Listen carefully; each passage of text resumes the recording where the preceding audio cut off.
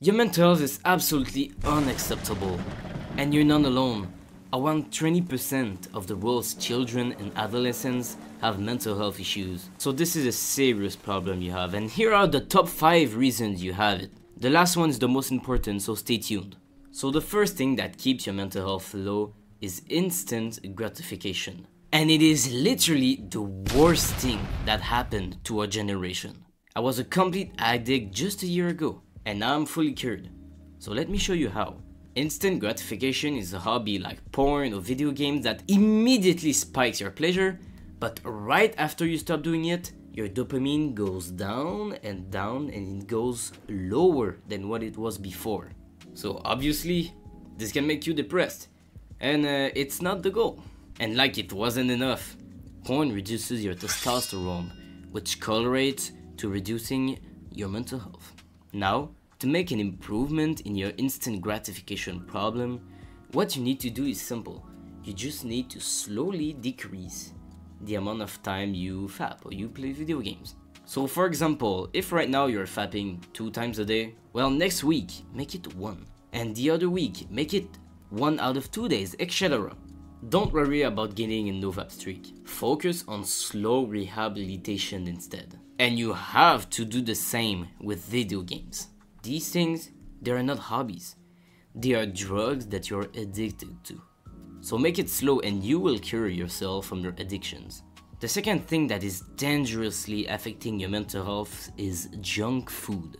I was a junk food addict for basically my whole life. I was obese and super depressed, but now it's fully out of my life and head. Junk food does two major things to your body. It decreases testosterone and decreases your physical health, which are both symptoms of a poor mental health. The thing that helped me the most is training at the gym and staying consistent. The gym absolutely cured my depression and you have to do it too. The third habit that you have to stop right now is not getting enough sleep. Sleep is like recharging your phone for your body. If you are going to use it the entire day, you will recharge it to 100%, right? Well, you need 100% of your power and energy to get depression out of your head and feel the light come in. So for a good night of sleep, you need 8 hours. But you know that. What you don't know is that your sleep is not 100% efficient, but rather 80% on average. So if you sleep for 5 hours a night, you only get 4 hours of efficient sleep. Now to start sleeping more, you should sleep at least 15 minutes more each week until you get to 10 hours of sleep, which will get you 8 hours of efficient sleep.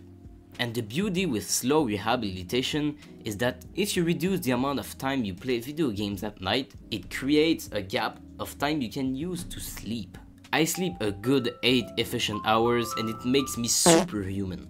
The fourth habit destroying your mental health is constant stress and anxiety. This subject is quite sad because your hypocrite school raises awareness about anxiety, yet it puts a shit ton of pressure on your shoulders for your school exam, which to be honest, they do absolutely nothing except ruining your mental health with stress. But lucky for us, it's easier than you think to manage and control it. First, Sleep is essential for reducing anxiety and stress, but the best habit that I have been doing for a few months now is meditating. Yes, it seems goofy, but I promise you that it's going to make the change you didn't expect about your mental health. The fifth and last point in my opinion is the most important of them all, and it is the fact that you have no goals.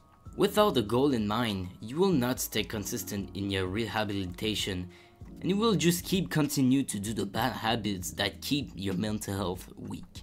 My goal is to become a life-changing YouTuber that actually cares about other people like you who has the average problems of a young generation created by the modern world.